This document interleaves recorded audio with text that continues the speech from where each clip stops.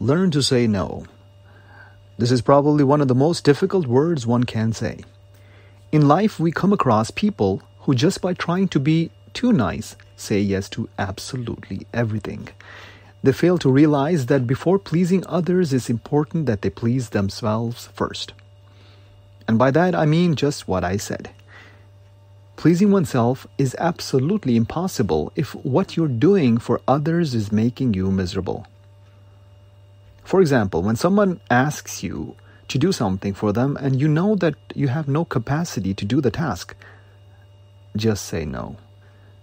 It's not rude to say so, but it's worse when you can't do the task and you have no time to do it.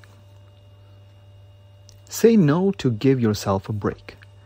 Because no matter how you look at it, one can really exhaust oneself by pleasing other people. The idea behind this message is not to tell you to say no to everything. I love helping people and usually hardly ever say no. But I have my own way of saying a kind no to something I cannot do. Although we can all be better at it if we try. So, to sum it up, be nice and kind, but learn to say no. Be sweet, but learn to realize where your limit is.